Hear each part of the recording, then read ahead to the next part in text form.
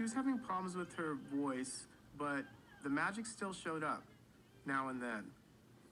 One time I was in Newport recording a song.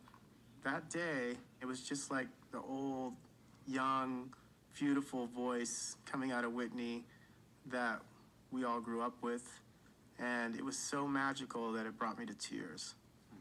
It was just like, I mean, I was just like, I had, I mean, I even have goosebumps right now just thinking about it. Like, I could just feel them taking over my body because it was so wonderful.